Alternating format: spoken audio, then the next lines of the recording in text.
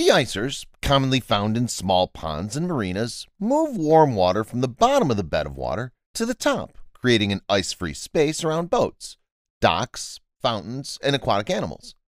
This can be done economically by controlling the de-icer with a K-Kontrol NEMA 4X line voltage thermostat. Mount the thermostat controller near the body of air to sense the air temperature. Set the temperature for when you want the de-icer to turn on. We recommend 35 degrees Fahrenheit. Plug the de-icer into the thermostat's piggyback plug and plug the cord into a grounded 120 volt outlet. When ambient air temperature falls to the desired set point, the de-icer will turn on. When temperatures rise above the desired set point by 3 degrees, the de-icer will turn off. It's that simple. For more information about our freeze protection NEMA 4X rate line voltage thermostat, visit us online at www.k-kontrols.com.